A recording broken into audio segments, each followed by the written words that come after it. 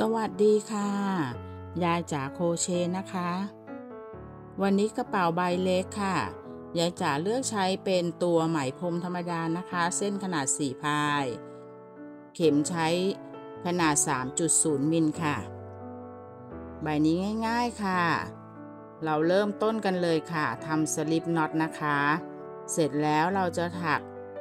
โซ่นะคะ ความยาวของโซ่อยู่ที่ 32 โซ่ค่ะ ถ้าเพื่อนๆต้องการปรับขนาดนะคะจำนวนหลักที่ใช้ในหนึ่งช่วงลายคือ 3 หลักนะคะ เมื่อเสร็จ 32 โซ่แล้ว เราเริ่มต้นแถวก้นกระเป๋านะคะ จะถักแค่แถวเดียวค่ะ ให้เพื่อนๆกดที่หลัก 32 ไว้แล้วถัก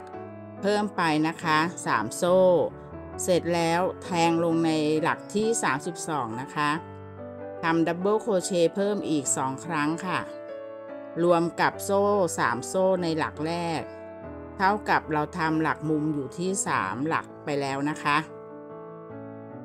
เสร็จแล้วใส่ marker ในโซ่ที่ 3 ไว้ค่ะทำเพิ่มอีก1ครั้งนะคะ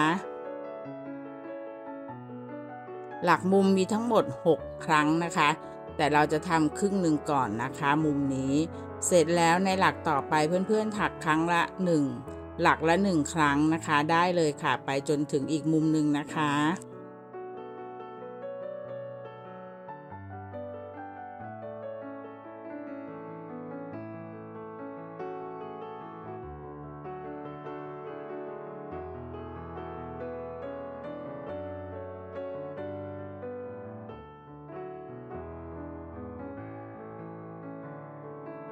เมื่อมาถึงมุมนี้ค่ะ ให้ถักดับเบิลโครเชต์ลงไปทั้งหมด 6 ครั้งนะคะ ลงในหลักเดียวกันเลยนะคะ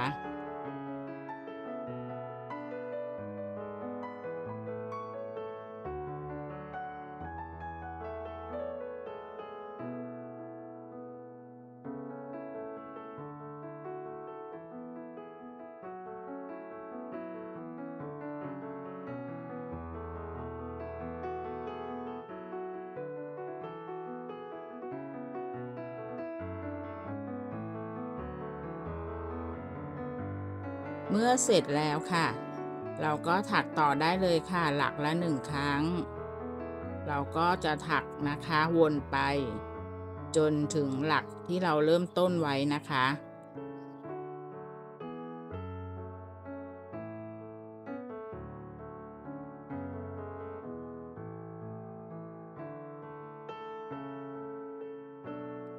เมื่อถึงหลักนี้ค่ะ เราก็จะทำเพิ่มนะคะทำดับเบิลโครเชต์เพิ่มไปอีก 3 ครั้งค่ะ เมื่อรวมกับที่เราเริ่มต้น 3 ครั้งนะคะ ก็จะเท่ากันค่ะ หลักมุมจะมีทั้งหมด 6 ครั้ง ครบ 3 ครั้งแล้วให้เลื่อนห่วงจบแถวได้เลยค่ะ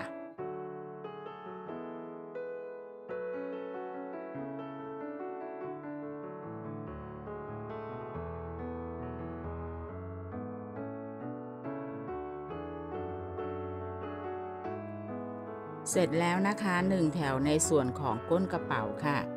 ต่อไปเป็นตัวกระเป๋านะคะ เราจะถัก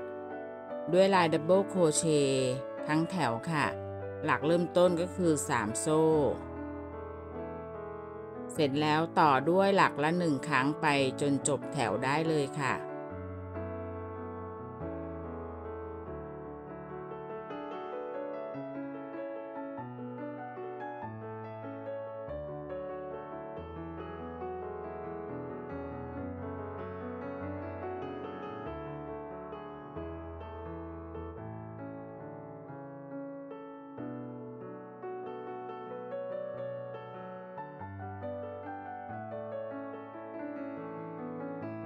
เราจบแถวกับการเลื่อนห่วงในกับโซ่ที่ 3 นะคะ เสร็จแล้วค่ะสำหรับตัวกระเป๋า ก็จะตั้งขึ้นมาเป็นตัวกระเป๋านะคะ แถวต่อไปเราจะเริ่มถักลายค่ะ ลายที่ถักไม่ยากนะคะ ใช้ double crochet เหมือนกันค่ะ หลักแรกนะคะเราถักลงในหลักที่ 1 3 โซ่ แล้วทำ double crochet นะคะอีก 1 ครั้ง ลงในหลักเดียวกันหมดเลยนะคะ เสร็จแล้วนะคะ ลงในหลักนี้นะคะ เราจะทำ3 double crochet แต่เป็นแบบ cluster นะคะ ถ้า cluster ก็คือการรวบห่วงพร้อมกันนะคะ2นะคะ แล้วก็อีก 1 ครั้งค่ะ เป็น 3 ครั้ง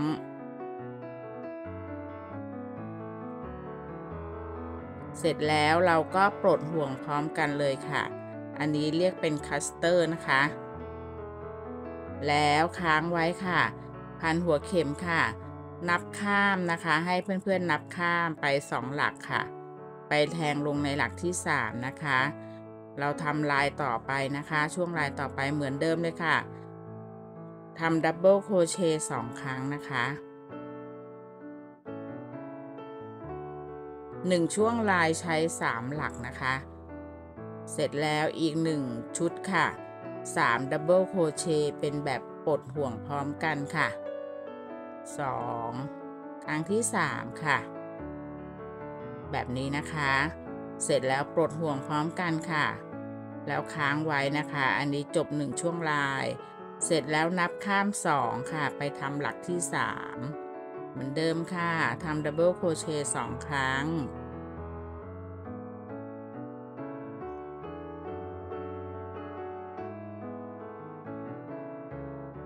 แล้วต่อด้วย double crochet แบบ cluster นะคะ ลายถักก็จะมีแค่นี้เองเลยค่ะ ถ้าเพื่อนๆ ถักได้แล้วนะคะ ก็ถักวนไปจนจบแถวได้เลยค่ะ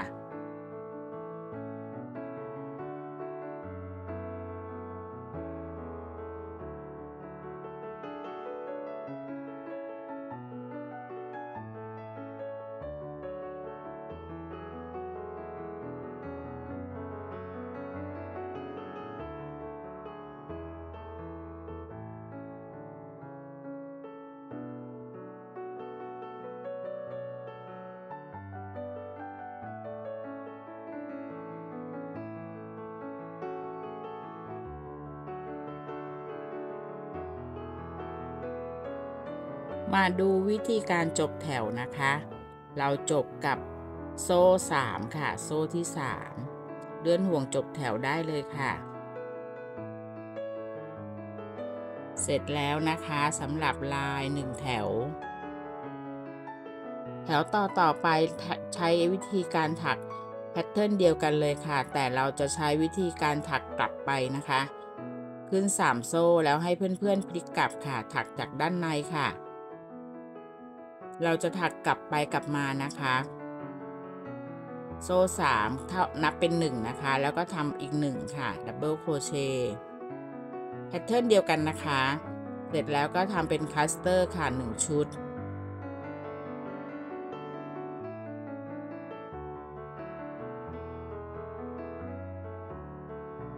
ปลดห่วงพร้อมกัน เสร็จแล้วนะคะ นับข้ามสองหลัก มันก็จะมาลงหลักที่ 3 ตรงนี้นะคะ ที่เป็น cluster เหมือนกันค่ะ เราก็ทำลายเหมือนเดิมค่ะ 2 double crochet แล้วก็เป็น cluster อีก 1 ชุด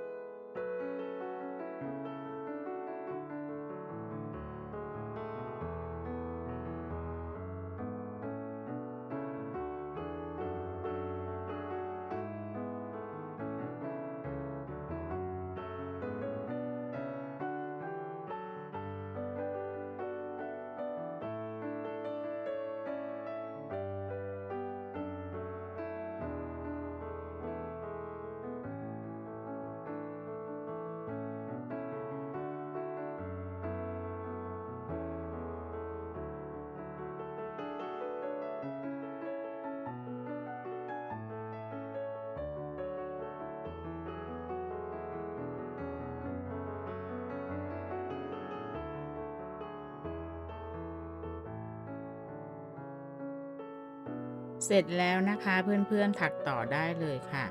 ดูกับด้านให้ดูนะคะ ด้านนอกด้านถูกนะคะ ลักษณะลายที่เกิดขึ้นค่ะ เสร็จแล้วก็ถักต่อได้เลยค่ะวนนะคะ ถักวนไปจนจบแถว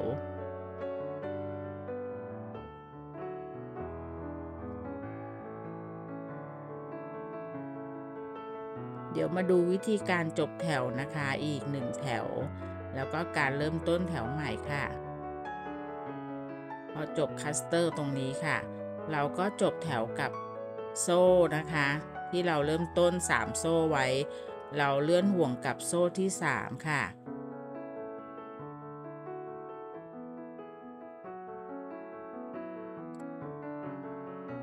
เราได้ 2 แถวแล้วนะคะถักกลับไปกลับมานะคะ เหมือนเดิมค่ะวิธีขึ้นแถวใหม่นะคะ 3 โซ่ แล้วให้พลิกกลับค่ะ คราวนี้แถวที่ 3 นะคะ ก็จะถักจากด้านนอกค่ะ ส่วนลายถักเหมือนกันเลยค่ะ 3 โซ่เสร็จแล้วก็จะเหลืออีก 1 ครั้งนะคะ double crochet แล้วก็ cluster อีก 1 ชุดค่ะ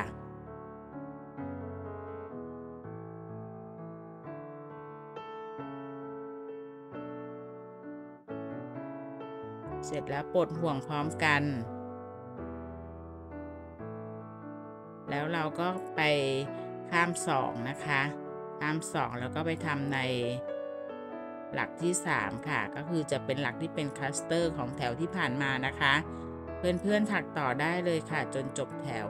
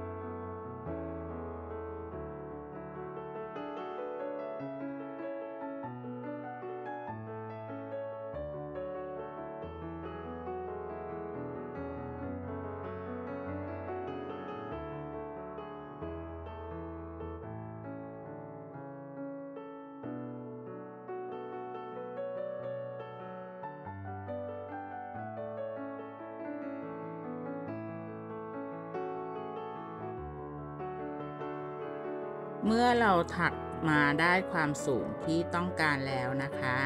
อันนี้ขึ้นอยู่กับเพื่อนๆนะคะ ว่าต้องการความสูงเท่าไหร่นะคะ ค่าของยายจ๋าจะถักขึ้นมาอยู่ที่ประมาณ 13 เซนค่ะ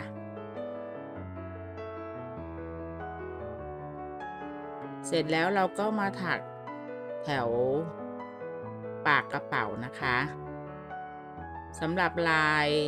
ที่ใช้ถักปากกระเป๋าก็เป็นลาย single crochet ธรรมดาค่ะ ในแถวแรกนะคะจะใช้ถักลงไปในทุกๆหลักค่ะด้วยลาย single crochet นะคะ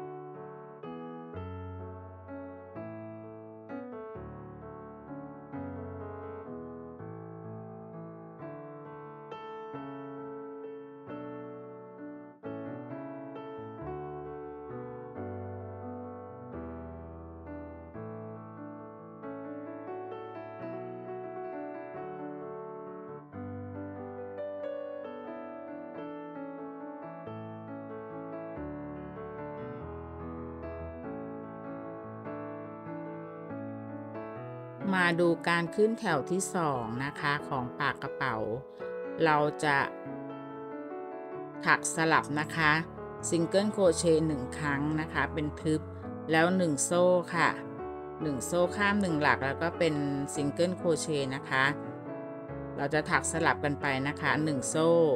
ข้ามหนึ่งหลักแล้วก็ single crochet ค่ะ เป็นทึบโป่งทึบอย่างนี้นะคะ เราถักวนไป จนจบแถว เราจะจบแถวเสร็จแล้วแถวต่อไปก็ถักสลับกันนะคะ แทงลงในช่องว่าง แล้วก็หนึ่งโซ่ข้ามนะคะ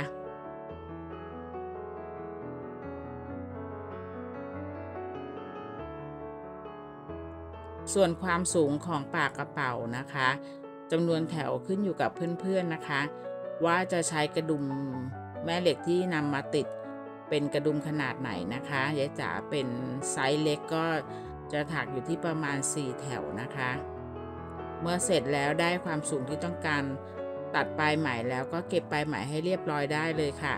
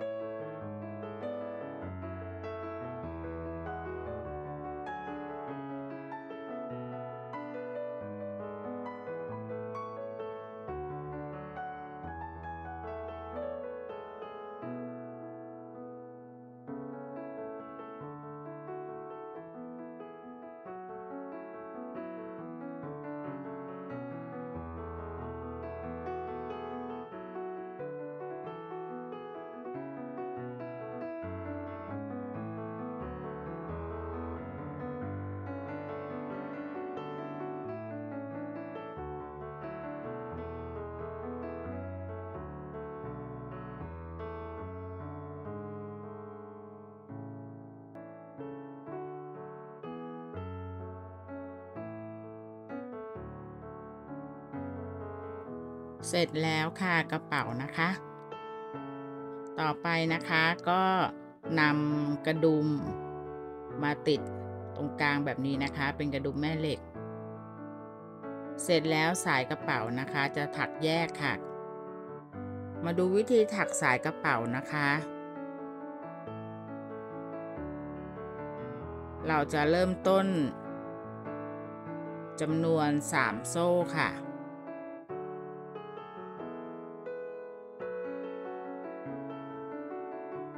เสร็จแล้ว ให้เพื่อนๆแทงเข็มลงไปนะคะ ในหลักที่สองค้างไว้ หลักแรกนะคะก็ค้างไว้ เสร็จแล้วให้เพื่อนๆกดตรงนี้ไว้นะคะปลดเข็มออกมา แล้วก็เกี่ยวผ่านห่วงแรก แล้วก็ใส่เข็มไปในห่วงที่สองเกี่ยวช้าๆนะคะ แล้วก็ห่วงแรกอย่างนี้นะคะ แล้วก็เกี่ยว เสร็จแล้วเพื่อนๆต้องกดไว้ด้วยนะคะ ไม่อย่างนั้นห่วงจะเลื่อนนะคะ เลื่อนหลุดนะคะ ไปด้วยกันช้าๆค่ะ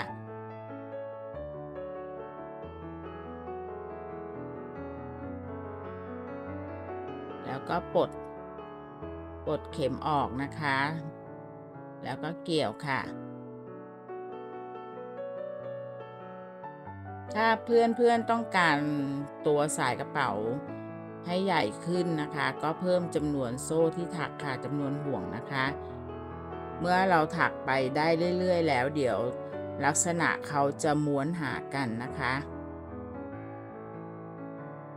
แต่ที่สำคัญก็คือเวลาที่ปลดเข็มเราจะต้องกด ไหมไว้ให้ดีนะคะ ไม่ให้เลื่อนนะคะ มือซ้ายเราต้องกดไว้นะคะ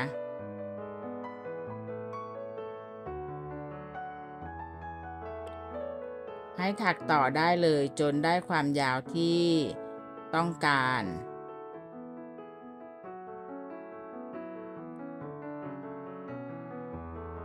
เมื่อเราได้ความยาวที่ต้องการแล้ว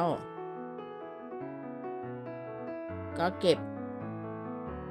ปลายไหมในแถวสุดท้ายได้เลย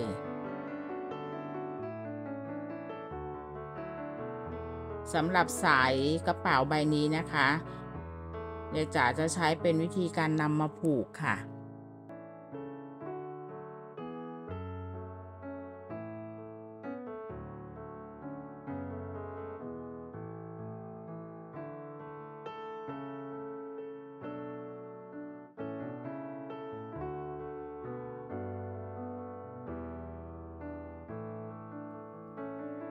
สำหรับการลักษณะการนำมาผูกนะคะ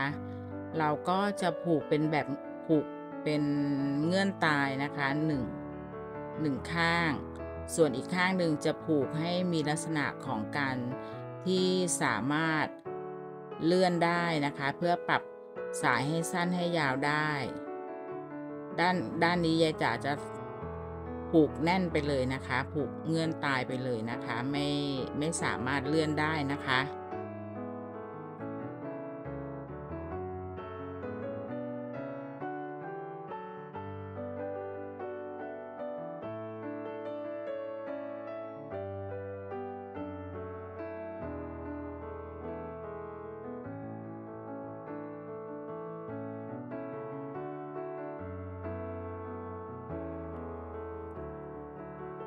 สำหรับข้างนี้นะคะยายจ๋าจะผูกเป็นลักษณะให้สามารถเลื่อนสายได้ค่ะ วิธีการนะคะเราก็คือพันทางด้านซ้ายตรงนี้นะคะ ให้เขาเป็นเหมือนห่วงคล้องเส้นหลักค่ะ แค่นั้นเองแล้วก็ดึงให้ให้ตึงนะคะ ลองเช็คดูค่ะ ถ้ารูดได้ก็แสดงว่าเราผูกถูกนะคะ เราก็จะปรับสั้นปรับปรับยาวได้เลยค่ะ ตามที่เราต้องการใช้งานนะคะ ต้องการสะพายหรือต้องการถือค่ะ แค่นี้นะคะเพื่อนๆ เสร็จแล้วก็เก็บปลายไหมให้เรียบร้อยค่ะ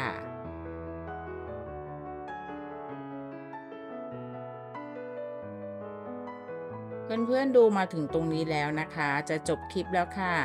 ยายจ๋าฝากกดไลค์กดแชร์นะคะ ส่งกำลังใจมาให้ด้วยนะคะสำหรับเพื่อนใหม่หรือมือมือใหม่หัดถักนะคะ ถ้าเข้ามารับชมคลิปนี้ใบนี้สามารถเริ่มฝึกหัดถักได้เลยค่ะ ใบเล็กๆค่ะ แล้วก็อย่าลืมกดติดตามไว้ด้วยนะคะ เพื่อนใหม่ เมื่อเวลาที่ยายจ๋าลงคลิปใหม่ ๆนะคะ จะได้มีการแจ้งเตือนไปค่ะ เสร็จเรียบร้อยแล้วนะคะสำหรับกระเป๋าถือใบเล็กๆค่ะ หวังว่าเพื่อนๆคงจะถูกใจกันนะคะสำหรับคลิปนี้นะคะยาจ๋าฝากไว้ด้วยนะ